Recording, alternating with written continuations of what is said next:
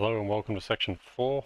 This will be part 1 and we're going to be creating the RTS character plugin.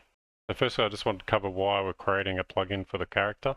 So the idea is that the RTS framework will be designed to work independently of any specific character or, or vehicle. It'll work based off just entities. So what the character plugin will do is it'll contain a base class. The base class will have these set up so we can interface with the rest of the framework that applies to any character that you want to use in your project. Uh, the, the character part could just go in the RTS core, however, if you do it in its own plugin, say you had a game that you know only had vehicles or whatever, you wouldn't need to include any of these files or anything. And it also just keeps all the character related classes and files neatly in one package. In this section, we're going to be creating a character base class, and then we'll create another test character class just to demonstrate how you would you know add your own character so the idea is that the base class will have the framework integration and then your character class will have whatever your character needs to have to be a character. Pretty simple this part, but we need a test character for our when we go on to RTS entities next. So this is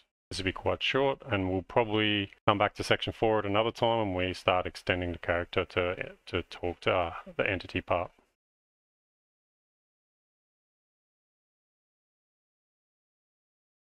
We're going to start this tutorial in the editor. Um, we're just going to go straight into plugins, add a new plugin.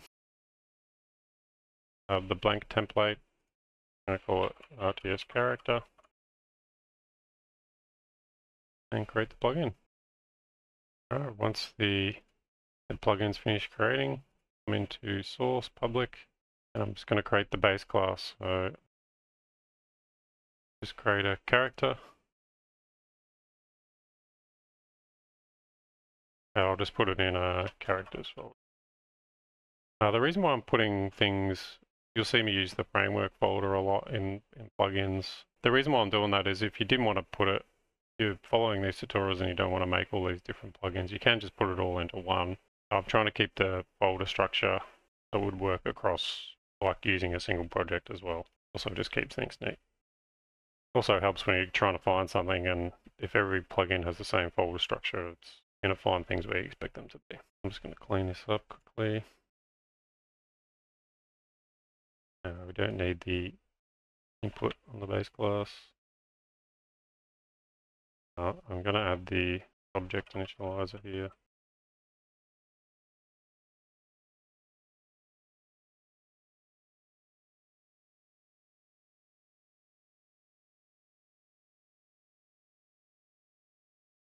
And, that, and that's all we really need right now for the base class. I know it's pretty straightforward and simple, but it, this class will act like a class between the Unreal character and your custom character in the game just to embed any functionality we need to work with the framework. So we'll be implementing interfaces here, which will uh, have some functionality to talk to the character. So the next one, I'm going to create another class. And I'm going to call this one this would be how you add your own character. So you can either do it in the RTS character plugin or you could just do it in your project. But you'd create a character. So this would be whatever name your character class is. It doesn't really matter. But you would inherit from the character base we just created. Even if it, you know, it's not in this plugin. I'm going to put this under, because I am putting it in the RTS character thing, so I'm going to put it under characters folder, but in its own folder. So this would be the test character. What is the test. You'd have some name here that's you know monster one or whatever you're at. If you if you are creating characters that can be controlled, you may want to leave the input. But all all the characters all we're using and most commonly for RTS is they'll just be AI controlled. And go base,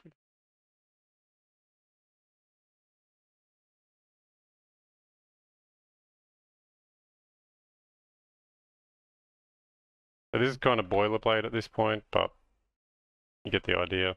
Hope. Got any questions, leave them in the comments, but it kind of might seem a bit pointless at the moment. Once we get into the entities part, it will make more sense. So what I want to do with this test character is I actually want to make it the mannequin, the UE mannequin, just as a base test character, which is probably good to have in any project, right? So like you could prob you could maybe even make this RTS character something you can drag into a project and you get the mannequin if, if you want. Its primary focus at the moment is to implement the required stuff for the RTS framework. So I'm going to fire up editor again. In the editor, we actually want the mannequin files. So there's a couple of ways you can get them. You can come to add and do add feature content pack and add the third person character to get the mannequin. It's going to add a whole bunch of crap we don't need, so classes and things. So what I'm going to do is, well, what I've previously done is I've created a project with just the third person character in it. And for anyone that doesn't know what I'm talking about, that's you just go, you just launch your editor through uh, the Epic launcher, and then you'll just come to third person, create a project, and that's just the template. That's all you want. And then you'll have a project that looks like this. And it's got just got the third person classes. So this is the C++ we don't really need. So I'll load this up. So it's just a generic template. I haven't touched this. this is exactly what comes in in the template. But what we do want is this characters folder. So it just has all the files for Manny, uh, Mannequin. So what we're going to do is we're going to migrate this. I think we migrate here.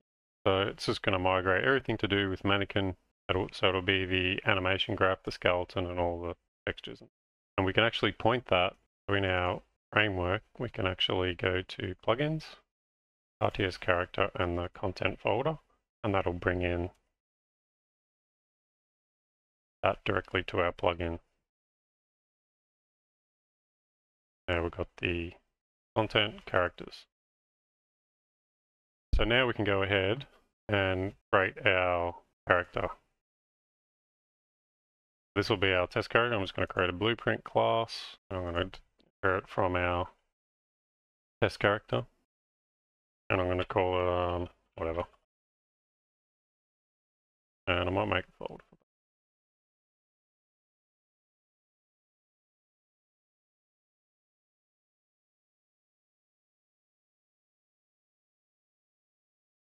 So in here we just need to set up Manny again. So I'm going to use animation graph for Manny, skeleton Manny. I think it's Manny simple.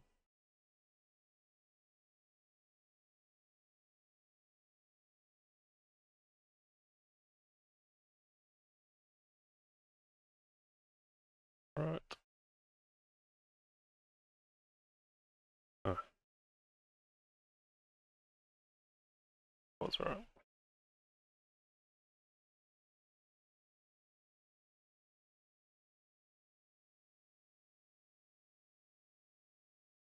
I'll.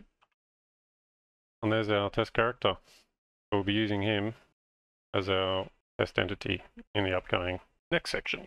A simple video for this section, but uh, absolutely required. See you in the next video.